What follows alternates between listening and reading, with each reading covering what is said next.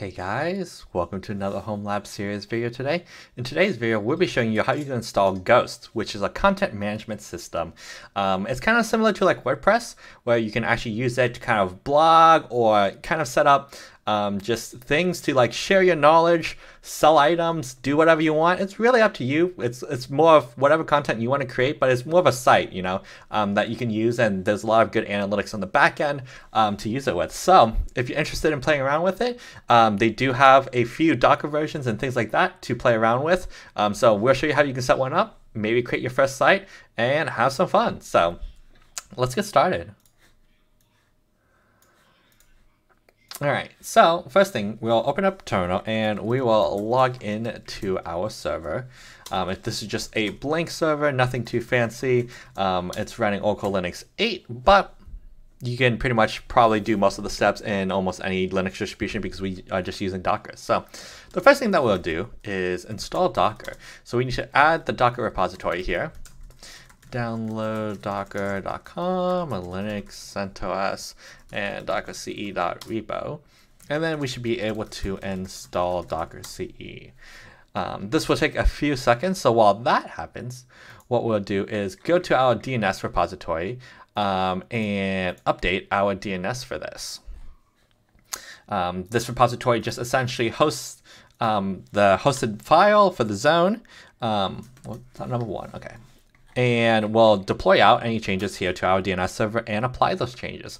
Um, if you're interested in that, uh, I do have a video and it's in my home lab series on how to do this. So feel free to check that out um, while I enter some information here. 74 and we will commit that. Add ghost. All right, so while that isn't going, we can actually go look at Ghost uh, Docker. So Ghost has a um, official Docker image here on a hub.docker.com. Eventually it will load. Eventually. All right, um, we will enable Docker here and start Docker. All right, so we'll install Docker Compose here. Um, so we'll grab it from the GitHub repo, Docker Compose releases, download. Uh, we'll grab the 2.5.0 version, Compose Linux, x86, 64. We'll output loads of local bin, Docker Compose grab that, and we will chmod usr local bin docker compose. We can check that the docker compose actually works by running the command and version, and we get the version. Um, so now, I was going to say this page should load now. Here we go. Um, and we can scroll down, see they have different tags um, in this case, but if you scroll down far enough, they will actually um, have a Docker Compose file, and we will use this. Um, now, this Docker Compose file is more of an example. Um, if you really want to run this in like a production stack, you probably want to consider a few other things um, in regards to this, and not just this, because um, this you essentially any changes that you make, it won't actually apply on the server because this container doesn't have like um, the data mounted back on the server. So none of this is persistent. Um, but if you're just using it for testing purposes, which is great, um, you can definitely do this. So we'll create a Docker Compose file and we'll paste what they had in here. Um, so nothing, nothing too fancy in here, um, but you definitely want to change a few things. So in this case, um, we will leave that here, um, but uh, you want to change like the database connection password. That would be a good thing to change. Um, and then MySQL password. That's also good to change. Um, but in this case, I'll leave it just to show you that it still works regardless of what it is, but you should really change those. So what we can do is docker compose up and detach. So we'll let that run while that pulls and downloads. Um, we'll log into our CA server, root at CA um, and create our certificate for this. So make directory ghost cd ghost um, step ca ghost dot dragon dot oh uh, step CA certificate. Sorry. Ghost dragon dot local ghost dragon dot local dot cert and ghost dot dragon dot local dot key. Um, we'll get the provisioner key here in our Vaultwarden. And you gotta type it in right, guys. Yeah, yeah, there we go.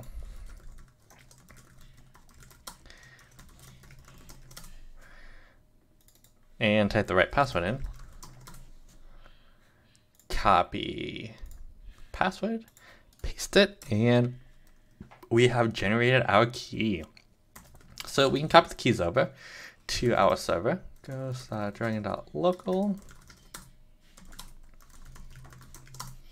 And those are copied over. So now we can actually exit this and close this session.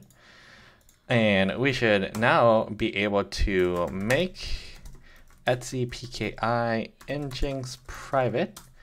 We'll move our cert to Etsy PKI Nginx and then move our key to Etsy PKI Nginx private.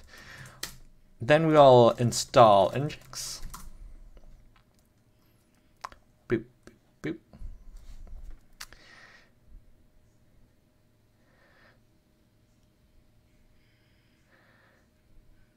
And it is installed here.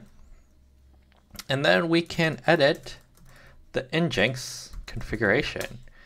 Um, we'll go to the bottom of the file, which you can do by hitting Shift G if you're in Vi or Vim. We're going to uncomment the SSL section here at the bottom. And then we'll update a few values um, to make sure that it works, essentially. So we'll update the SSL certificate. Boop, boop, boop. To be ghost.dragon.local. We'll update this to be ghost.dragon.local.key. But you gotta type it in right, you know. There we go. And then we'll update the location. So we want it to be localhost 8080, I believe. And we will save that. Um, the reason for 8080 is because it's running on the Docker container listening on 8080. Um, so we will restart Nginx here. Um, and I failed it. Um, give me one second. Journal CTL XE failed to restart.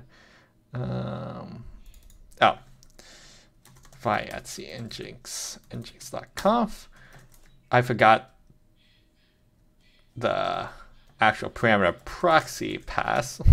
if you if you don't actually specify the argument, you're, it's not going to work. So we'll restart Nginx and we should be golden. So now we should go to a browser, type in https ghost.dragon.local. We will get essentially our content management site. Um, but if you want to go to actual the admin site settings, this is where you would go. You would um, type in slash ghost. It'll bring you to this. And then you can specify all your information for your admin user. And then essentially create your site. So you can, you know, write your first post, you can make drafts, you can view your site. Um, there's a dashboard for, you know, customizing your site and other things. I am obviously not a UX or UI any any type designer, so I am terrible at telling you what you should do with your site. but um, oh, I messed that up. So that, that actually redirects to localhost. Um, so what we actually need to fix in that is this should actually point to HTTPS um, ghost.dragon.local. Um, that's why that, that link didn't work. But um, you can still use it um, and fix it. So um, they also have a doc mode, so definitely use that. Um, but other than that, I mean, it is kind of now up to you on what you want to design with it. Um, it seemed pretty cool. I think I might actually end up using it, create create my own site with it, um, to like relay some of my home lab content that I've created. Um, but we will see. Got to find some time and figure some stuff out. So, but if you did enjoy this video, please leave a like, comment, subscribe, and we'll see you guys in the next video. Bye.